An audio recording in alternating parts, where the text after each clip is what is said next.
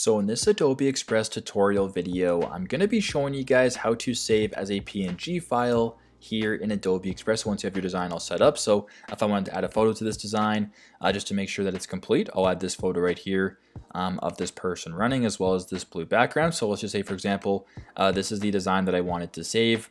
Uh, super simple. Uh, all you have to do here is once that is done, um, go to the top right option right here to where it says download. I want you to hover over top of it and press download.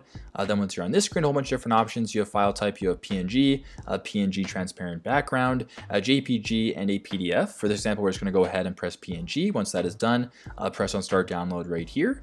Uh, it'll now download to your laptop or to your computer. Uh, once it is done, you can go ahead and save it. Uh, and press X right here. Uh, it celebrates you uh, downloading as a PNG file, but basically uh, that is how you guys can download um, as a PNG file here in Adobe Express. I hope this video helps.